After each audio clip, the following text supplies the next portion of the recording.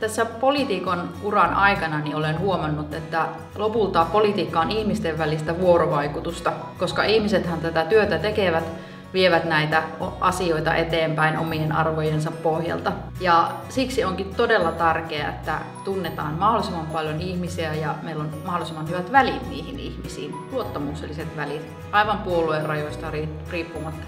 Ja ehkäpä tätä kutsutaan sitten niiksi verkostoiksi. Ja voi myös sanoa, että verkostot ovat työkalu. Ja niiden on syytä todella olla monipuolisia, koska ei tällä yhdessä puolueessa pysty sitä kautta pelkästään ajamaan näitä tärkeitä asioita. Vaikka verkostoja voidaan sanoa työkaluiksi, niin oikeastihan siinä on kysymys ihan jostain muusta.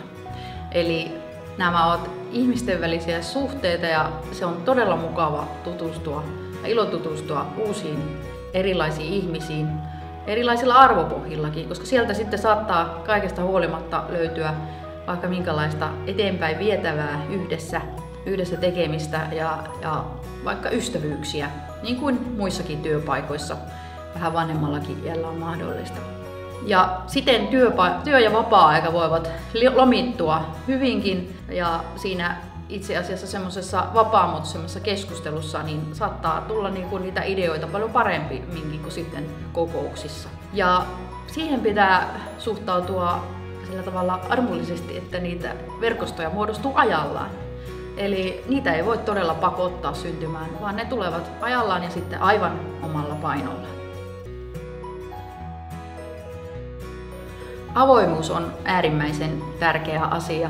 Meidän on aika helppo mennä semmoisiin mukaviin kupliin, joissa vain seurustelemme samalla tavalla ajattelevien ihmisten kanssa ja teemme asioita niiden kanssa, joilla on vähän samanlainen elämäntilanne.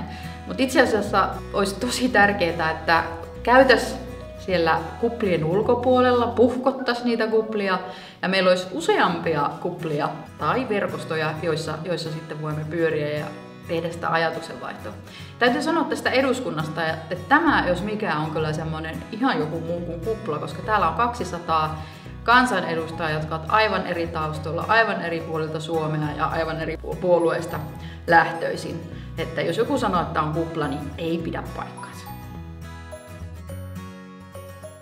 Niistä ystävyysverkostoista tai, tai yleensä työverkostoista, niin on syytä ajan kanssa sitten tunnistaa ne luottoystävät. Ja niitähän on syytä olla politiikan ulkopuolelta, mutta myös sieltä politiikan sisäpuolelta, jotta pystyy sitten kollegan kanssa käymään sellaista vertaiskeskustelua luottamuksella.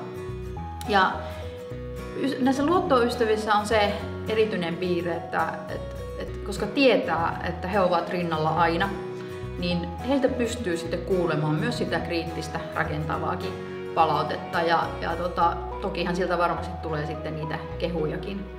Ja näissähän on se todella se erityispiirre näissä tosiystävissä, että ne kyllä tietää, että, että kuka silloin kun oikein todella surkeasti menee, niin ensimmäisenä tai toisena soittaa, niin siellä ne juuri ovat. Ja niistä kyllä kannattaa pitää huolta itsekin. Sitten erityisesti varmasti silloin hyvinä aikoina. Vitsi kun mä en ole juonut kahvia, en, en muista mitään.